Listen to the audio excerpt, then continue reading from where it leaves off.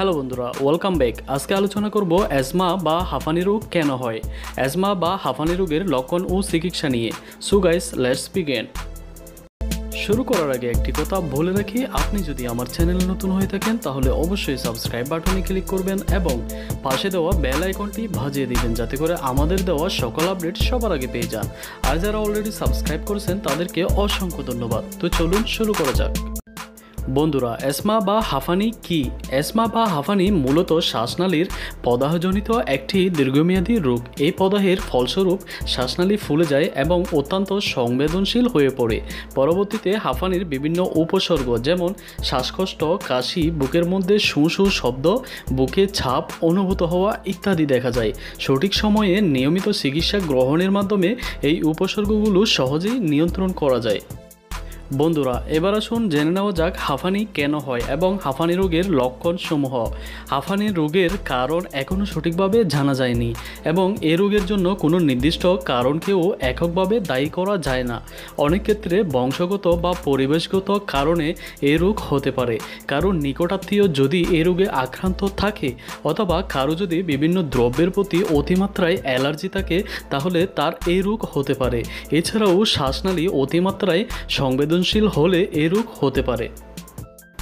বন্ধুরা অ্যাসমা বা হাঁফানি হওয়ার কোনো নির্দিষ্ট বয়স নেই। এটি ছোঁয়াছে বা সংক্রামক কোনো রোগও নয়। ফদাহের ফলে শ্বাসনালীর সংবেদনশীলতা বৃদ্ধি পায়। ফলস্বরূপ, ঘন ঘন কাশি, শ্বাসকষ্ট, বুকে ব্যথা হওয়া শুঁসু আওয়াজ, বুকে চাপ অনুভূত হওয়া বা নিঃশ্বাস নিতে কষ্ট হওয়া ইত্যাদি উপসর্গ দেখা দিতে পারে। সঠিকভাবে ও প্রয়োজনীয় চিকিৎসা না নিলে অনেক সময় এ রোগে মৃত্যু পর্যন্ত হতে পারে। বন্ধুরা ধুলোবালির মধ্যে থাকা মাইট নামক এক ধরনের ক্ষুদ্র কীট, ফুলের ফরাগ্রেণু, ফাঁকির পালক, ছত্রাক, ইস্ট এবং সিগারেটের ধোয়ার মধ্যে যারা প্রত্যক্ষ এবং পরোক্ষভাবে থাকেন, তাদের এই রোগ হতে পারে। ধূমপান শুধু শ্বাসকষ্টের অন্যতম কারণই নয় বহুক্ষেত্রে এটা হাঁফানির তীব্রতা অনেকাংশে বাড়িয়ে দেয়। হাঁফানির ওষুধের কার্যকারিতা কমিয়ে দেয় এবং কোনো কোনো ক্ষেত্রে ধূমপান ফুসফুসের কার্যক্ষমতা দীর্ঘ স্থায়ীভাবে কমিয়ে দেয়। বন্ধুরা, পেশাগত কারণেও কখনো কখনো এই রোগটি হতে পারে। কিছু উত্তেজক উপাদান, যেমন শ্বাসনালীর সংক্রমণ, অ্যালার্জি জাতীয় কোনো বস্তুর সংস্পর্শ, ধুলা, বায়ুদূষণ, সিগারেটের ধোঁয়া ইত্যাদি। অনেক সময় অতি সংবেদনশীল রোগীর শ্বাসকষ্টের কারণ হতে পারে। কিছু ওষুধ যেমন বিটা ব্লকার, যা উচ্চ রক্তচাপ নিয়ন্ত্রণের জন্য এই ওষুধটি ব্যবহার করা হয়। এন এনএসএআইডি যা ব্যথা নিরাময়ের জন্য ব্যবহার করা হয়। অ্যাসপিরিন ইত্যাদি ওষুধের কারণেও হাঁফানি হতে পারে। বন্ধুরা, মানসিক চাপও অনেক ক্ষেত্রে হাঁফানির তীব্রতা বাড়াতে পারে।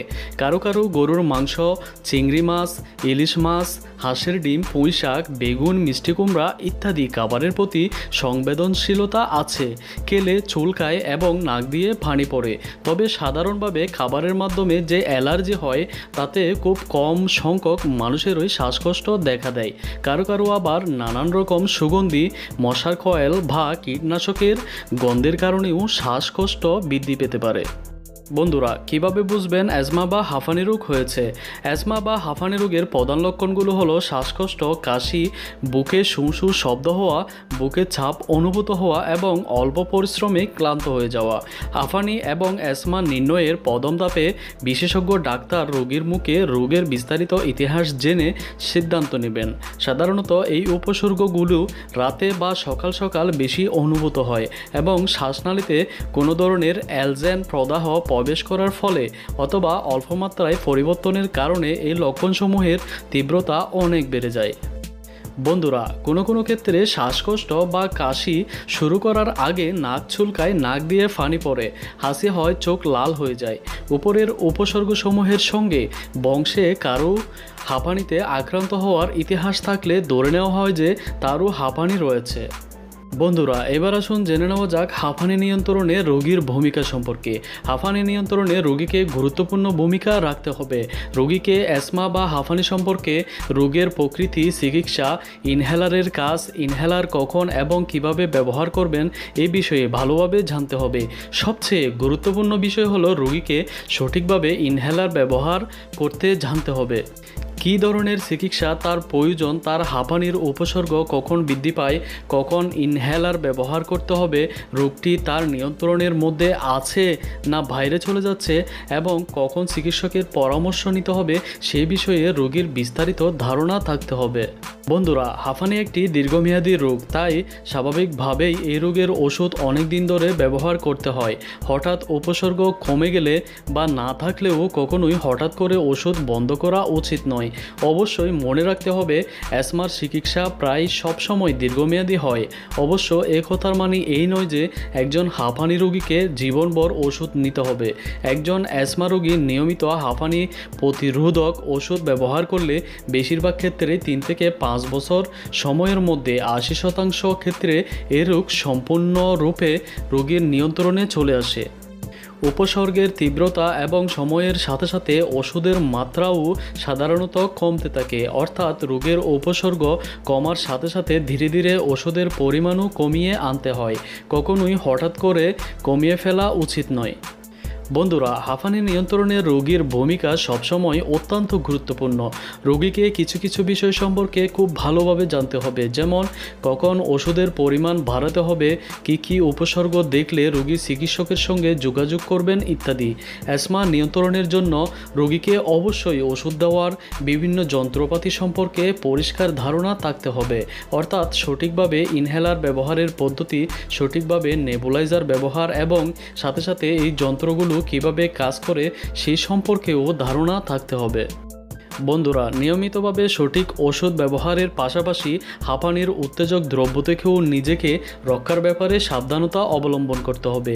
প্রত্যেক রোগীর উত্তেজক দ্রব্য অথবা অ্যালার্জি ভিন্ন হবে, সেটাই স্বাভাবিক। সেজন্য রোগীকে তার জন্য নির্দিষ্ট কোনো উত্তেজক আছে কিনা সেই বিষয়ে জানতে হবে এবং পরিহার করতে হবে। এছাড়াও কিছু কিছু সাধারণ ব্যাপারে সবসময় সচেতন থাকতে হবে, যেমন প্রত্যক্ষ এবং পরোক্ষ ধূমপান ও ধুলা থেকে সাবধান থাকতে হবে। বাসায় বড় কার্পেট ব্যবহার না করা, বিশেষ করে শোয়ার ঘরে। বাসায় কোনো পোষা জীব যেমন পাখি, কুকুর, বিড়াল ইত্যাদি না রাখা। বাসায় কোনো ধরনের কীটনাশক, স্প্রে ব্যবহার না করা। বেকুয়াম ক্লিনার ব্যবহার না করাই ভালো। বন্ধুরা, পূর্ব থেকে অ্যাজমা সম্পর্কে সঠিকভাবে ধারণা থাকলে খুব সহজে হঠাৎ অ্যাজমার আক্রমণ থেকে রক্ষা পাওয়া যায় এবং বেশিরভাগ ক্ষেত্রেই রোগীকে হাসপাতালে ভর্তি করার প্রয়োজন হয় না। বন্ধুরা অ্যাসমা বা হাঁফানি নিয়ন্ত্রণে করণীয়। Global initiative against asthma GINA একটি যুক্তরাষ্ট্রভিত্তিক সংগঠন যারা অ্যাসমা নিয়ে তাদের কার্যক্রম পরিচালনা করে থাকে। জিআইএনএ এর উদ্যোগ এবং বিশ্ব স্বাস্থ্য সংস্থার সহযোগিতায় দুই হাজার তিন সাল থেকে প্রতি বছর মে মাসের প্রথম মঙ্গলবার সাধারণ মানুষ এবং অ্যাসমা রোগীদের মধ্যে এই রোগটি সম্পর্কে সচেতনতা তৈরির লক্ষ্যে বিশ্ব অ্যাসমা দিবস পালিত হয়। বিশ্বের বিভিন্ন দেশের মতো বাংলাদেশেও এই দিনটি বিশেষ মর্যাদায় শোভাযাত্রা, পোস্টার, সেমিনার অ্যাসমা রোগীদের সাথে মত বিনিময় অ্যাসমা রোগের সঠিক চিকিৎসা পদ্ধতি সম্পর্কে সাধারণ মানুষকে সচেতন করা এবং অ্যাসমা রোগ প্রতিরোধে করণীয় সম্পর্কে আলোচনা অনুষ্ঠানের মাধ্যমে পালন করা হয়ে থাকে। হাঁপানি নিয়ন্ত্রণে রোগীর ভূমিকায় সবচেয়ে গুরুত্বপূর্ণ। বন্ধুরা, একজন রোগী একটু সতর্ক হলে খুব সহজেই নিজের হাঁপানি নিজে নিয়ন্ত্রণ করতে পারেন। একজন রোগীর তার রোগ, ওষুধপত্র, উত্তেজক দ্রব্য এবং খাবার, ওষুধ ব্যবহারের প্রয়োজনীয় বিভিন্ন যন্ত্রপাতি, ইনহেলারের কাজ ও ব্যবহার ইত্যাদি সম্পর্কে সঠিকভাবে ধারণা থাকলে খুব সহজে হাঁপানির উপসর্গগুলো সম্পূর্ণ নিয়ন্ত্রণে রাখা সম্ভব। অ্যাসমা বা হাঁপানি রোগের চিকিৎসা। হাঁপানির চিকিৎসায় নানান ধরনের ওষুধ ব্যবহৃত হয়। যেমন, রোগ উপশমকারী ওষুধ, রোগ প্রতিরোধ বা বাধা প্রদানকারী ওষুধ। এই ওষুধগুলো সম্পর্কে ভালো ধারণা থাকার পাশাপাশি কীভাবে কাজ করে সঠিক মাত্রা এবং পার্শ্ব প্রতিক্রিয়া সম্পর্কেও ভালো ধারণা থাকতে হবে। বন্ধুরা, হাঁপানি সম্পূর্ণভাবে ভালো করার এখনও কোনো ওষুধ আবিষ্কার হয়নি, তবে সঠিক চিকিৎসা পদ্ধতির মাধ্যমে এই রোগ সম্পূর্ণভাবে নিয়ন্ত্রণে রাখা যায় এবং বেশিরভাগ ক্ষেত্রে রোগী সম্পূর্ণ সুস্থ ও স্বাভাবিকভাবে জীবনযাপন করতে পারেন। বন্ধুরা হাঁফানি সঠিকভাবে নিয়ন্ত্রণ না করতে পারলে তা মারাত্মক হতে পারে, এমনকি মৃত্যুর কারণও হতে পারে। হাঁপানি নিয়ন্ত্রণে কোন কোন উপসর্গে রোগীর শ্বাসকষ্ট বেড়ে যায় সে ব্যাপারে সতর্ক থাকতে হবে, কারণ সব রোগীর রোগের উপসর্গ কমা বা বাড়ার ব্যাপারে একই উত্তেজক দায়ী নয়। সঠিক চিকিৎসা ও হাঁপানির ওষুধ সঠিকভাবে ব্যবহার করলে সম্পূর্ণ সুস্থ ও স্বাভাবিক জীবনযাপন করা সম্ভব। বন্ধুরা, এবার আসুন অ্যাজমা সংক্রান্ত কিছু গুরুত্বপূর্ণ প্রশ্নের উত্তর সম্পর্কে জেনে নেই। শ্বাসকষ্ট মানে কি অ্যাসমা শ্বাসকষ্ট মানে কিন্তু অ্যাসমা নয়। অ্যাসমা ছাড়াও আরও নানান কারণে শ্বাসকষ্ট হতে পারে। যেমন, হৃদরোগে আক্রান্ত ব্যক্তির শ্বাসকষ্ট হতে পারে। যাদের রক্তশূন্যতা আছে, তাদেরও হতে পারে। এছাড়াও কিডনি রোগের ক্ষেত্রেও শ্বাসকষ্ট হতে পারে। সব খাবারে কি সবার অ্যালার্জি হতে পারে? ব্যক্তিভেদে বিশেষ খাবারে অ্যাজমা হতে পারে। যেমন, গরুর মাংস কারও কারও ক্ষেত্রে অ্যাজমার তীব্রতা বৃদ্ধি করলেও সবার ক্ষেত্রে একই রকমের সমস্যা হয় না। একইভাবে চিংড়ি মাছ কারও কারও ক্ষেত্রে সমস্যা তৈরি করলেও আরেকজনের ক্ষেত্রে হয়তো কিছুই হয় না। আবার এমনও হতে পারে গরুর মাংস অথবা চিংড়ি মাছ খেলেই কিছুই হয় না, কিন্তু বেগুন খেলেই শ্বাসকষ্ট শুরু হয়। অর্থাৎ ভিন্ন ভিন্ন ব্যক্তির ভিন্ন ভিন্ন খাবারের প্রতি অ্যালার্জি থাকতে পারে। অ্যাজমা ছোঁয়াচে রোগ কিনা? অ্যাজমা ছোঁয়াচে রোগ নয়, বংশগতভাবে, অর্থাৎ বংশে কারও অ্যাজমা থাকলে বংশধরধর এই রোগ হতে পারে। বুকের দুধ খেলে শিশুর অ্যাজমা হওয়ার আশঙ্কা আছে কিনা? আক্রান্ত মায়ের বুকের দুধ খেলে শিশুর অ্যাজমা হওয়ার কোনো আশঙ্কা নেই এবং মায়ের সংস্পর্শেও অ্যাজমা হওয়ার কোনো সম্ভাবনা নেই। অ্যাজমা বা হাঁফানি কি সম্পূর্ণভাবে নিরাময়যোগ্য? অ্যাজমা সম্পূর্ণভাবে ভালো হয় না। তবে এই অ্যাজমার অনেক আধুনিক চিকিৎসা আছে, অর্থাৎ সঠিকভাবে চিকিৎসা গ্রহণ করলে একজন অ্যাজমা রোগী প্রায় সুস্থভাবে জীবনযাপন করতে পারবে। ইনহেলার ব্যবহার কখন করবেন? ইনহেলার দিয়ে প্রথমে চিকিৎসা শুরু হয়, কারণ ইনহেলার দেওয়ার দুই তিন মিনিটের মধ্যেই শ্বাসকষ্ট আর থাকে না। যদিও অনেকের ধারণা সর্বশেষ ওষুধ হিসেবে ইনহেলার ব্যবহার করা হয়, অর্থাৎ ট্যাবলেট, সিরাপ এবং ক্যাপসুল সবই যখন ব্যর্থ, তখন অ্যাজমার চিকিৎসায় ইনহেলার ব্যবহার করা হয়, কিন্তু কতটা মোটেও সত্য নয়। সবশেষে পৃথিবীতে প্রায় তিরিশ কোটি মানুষ অ্যাজমা বা হাঁপানি রোগে আক্রান্ত। এর মধ্যে কিছু সংখ্যক মানুষের ক্ষেত্রে বর্তমানে প্রচলিত পদ্ধতিতে অ্যাজমার চিকিৎসা করা যাচ্ছে। কিন্তু সম্প্রতি একটি গবেষণা প্রতিবেদনে প্রকাশ হয়েছে যে, এমন কিছু ওষুধ নিয়ে বর্তমানে গবেষণা করা হচ্ছে, যার ফলে আগামী পাঁচ বছরের মধ্যে অ্যাজমার রোগ পুরোপুরিভাবে দূর করা সম্ভব হবে। গবেষণা প্রতিবেদনে বলা হয়েছে, অ্যাসমা তৈরিকারী দ্রব্যসমূহ শ্বাসনালীর টিস্যুতে গিয়ে সিএসআরকে কার্যকরী করে তোলে এবং এর ফলস্বরূপ অ্যাসমার লক্ষণসমূহ যেমন প্রদাহ এবং শ্বাসনালী শুরু হয়ে যাওয়া প্রকাশ পায়।